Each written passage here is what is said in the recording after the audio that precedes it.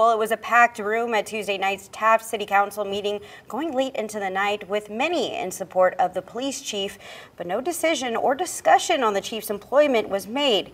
He was not asked to be present at that meeting.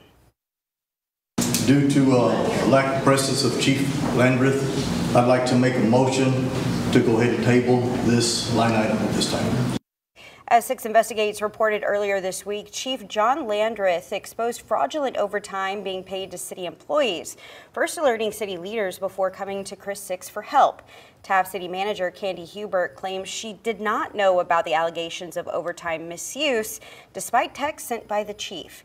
That item was scheduled to be talked about in executive session, but Landrith says he has asked for any discussion to occur in public.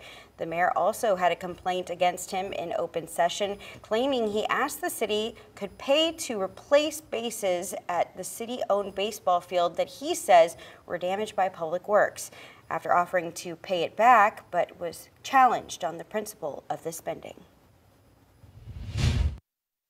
You need to watch yourself because you have a major conflict of interest. And I will remove myself. I will remove myself from the Little League. As of today, I am no longer part of the Little League. Yeah, definitely a heated meeting there. As for Chief Landrith, we called him afterwards, and he told us he would be at the next City Council meeting if he is on the agenda. The next Taft City Council meeting is on Tuesday, May 28th.